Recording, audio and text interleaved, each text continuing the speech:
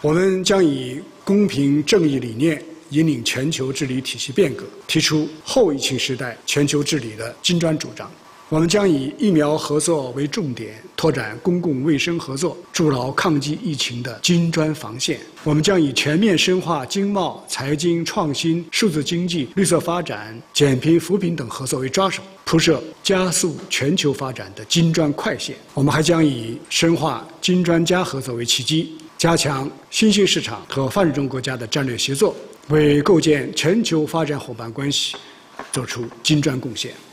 今年，中国、泰国和印度尼西亚将分别主办金砖国家领导人会晤、亚太经合组织领导人非正式会议，还有二十国集团领导人峰会。全球治理进入亚洲时间，我们期待新兴市场和发展中国家从全球治理的跟跑者向并跑者甚至领跑者转变，发挥更积极作用。发出更响亮声音，引领国际秩序朝着更加公正合理的方向演进，推动全球化朝着更加开放、包容、普惠、平衡、共赢的方向发展。